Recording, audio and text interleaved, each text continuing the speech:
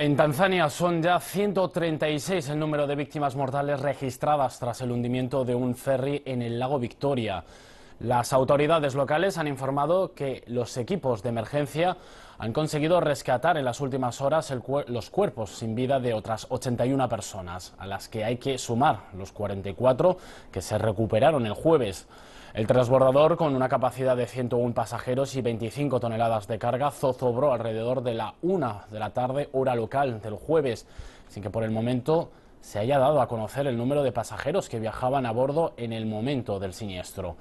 En 1996, un accidente de las mismas características se cobró la vida de al menos 500 personas en la zona del lago Victoria. El presidente de Tanzania, John Magufuli, ha enviado ya un mensaje de condolencias a las familias de las víctimas.